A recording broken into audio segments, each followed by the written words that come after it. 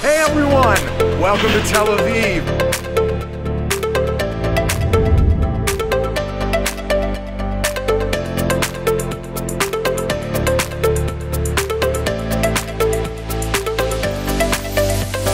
In honor of Israel's Independence Day, we're going to take a walk along the Golden Trail of Independence and understand where Tel Aviv was started and where the State of Israel was born.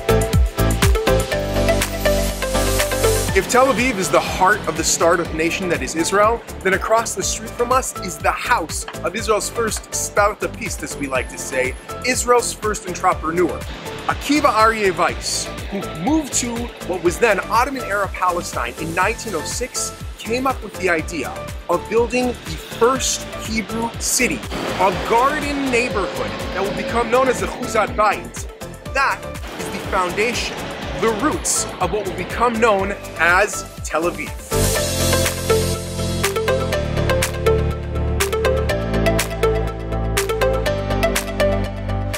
When Akiva Aryeh Weiss set foot here in 1906, all of this was just one giant sand dune. It's only in 1909 that Weiss gathers the first 66 families of Ahuzat Bayit, and on top of those famous sand dunes, raffles off the land that will become Ahuzat Bayit, the foundation of Tel Aviv. It would only be a couple of decades before Ahuzat Bayit would grow too big for its shell of a garden neighborhood and start becoming the city of Tel Aviv as we look around, we actually can see some of the original architecture of both the eclectic and Bauhaus international styles that make Tel Aviv famous until today.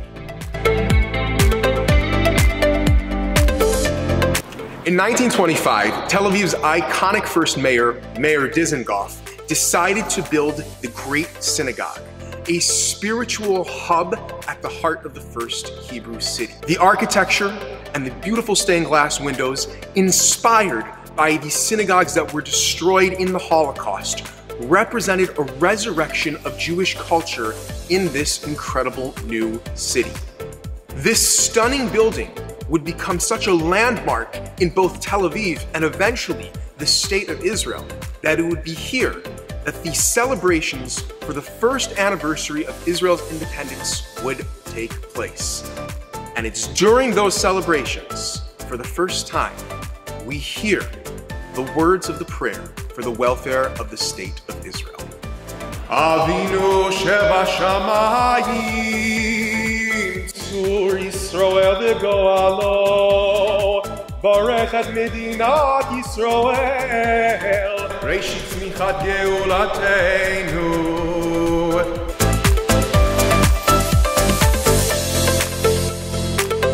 Remember the raffle on the sand dunes that we spoke about earlier?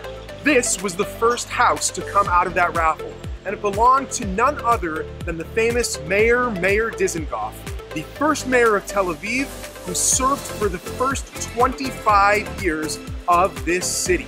If Akiva Aryeh Weiss is the visionary, it's Meir Dizengoff who is the spearhead leading the transformation of the small neighborhood of Ahuzat Bayit into the metropolitan that this city will become today. Following the death of his beloved wife Tzina in 1930, Meir Dizengoff donates his house and turns it into the Tel Aviv Museum.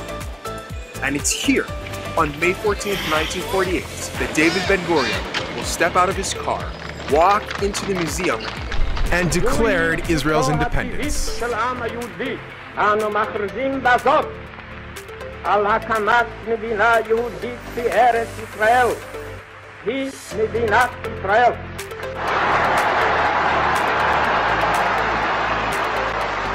Chag Sameach, Happy Independence Day from Tel Aviv.